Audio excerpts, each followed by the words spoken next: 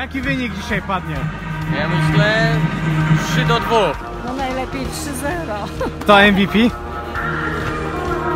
Może Pawłowi teraz za tą poprzednie nerwy.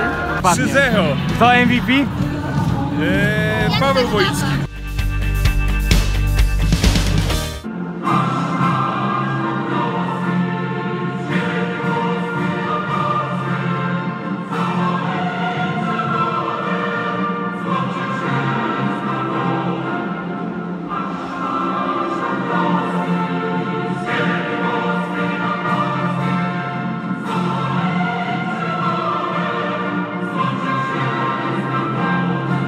Wojciech Kubacz, dyrektor.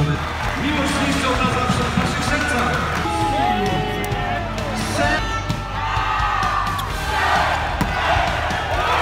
Adam Kugowy, punkt dla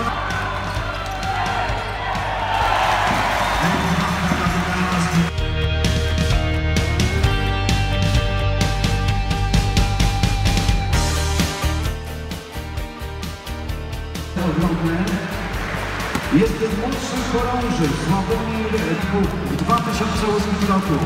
Dużo Najważniejsze, że sporo tych pozytywnych emocji i po takim szarpanym meczu, nie najlepszym w naszym wykonaniu, szczególnie jeśli chodzi o poziom zagrywki swojej hali, najważniejsze było wykończenie i wygrana w tabeli ligowej jest bezcenna. Nawet chyba w tych dwóch pierwszych setach nie zagrywaliśmy najlepiej, a trzeci i czwarty set to już naprawdę kwintesencja nieudolności z naszej strony, jeśli chodzi o zagrywkę i po prostu pozwoliliśmy Katowicom na, na grę, na skuteczną grę, wprowadziliśmy rywali do gry.